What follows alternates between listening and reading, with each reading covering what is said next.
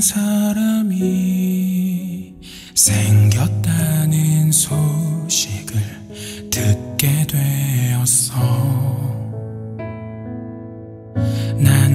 종일 복잡한 마음이라서 더 아무것도 할 수 없었어. 날 보며